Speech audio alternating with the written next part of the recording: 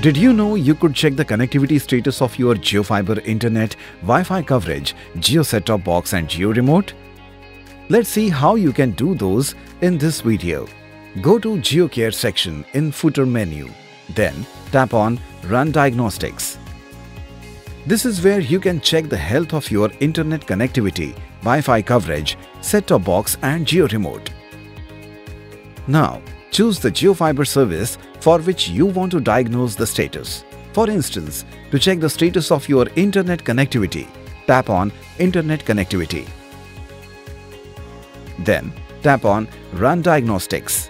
It will take a few seconds to examine the status of internet connectivity.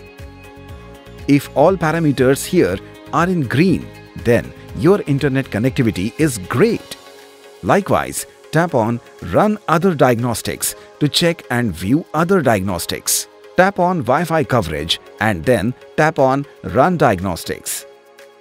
Hold on as it will take a few seconds to examine the status of your Wi-Fi coverage. The same will be displayed on the app screen shortly. If all parameters are in green, then the devices connected to Wi-Fi are in proper range. Likewise, tap on Run Other Diagnostics to check and view other diagnostics. To check the status of your set-top box health, tap on the set-top box health option. Then tap on Run Diagnostics. It will take a few seconds to examine the status of your set-top box. If all the parameters are in green, then there is no issue with the set-top box. Likewise, tap on Run Other Diagnostics to check and view other diagnostics. Moving on, to check the status of your set-top box remote, tap on the set-top box remote connectivity option. Then tap on Run Diagnostics. It will take a few seconds to examine the status of set-top box remote connectivity. If all parameters here are in green, then there is no issue with the set-top box remote.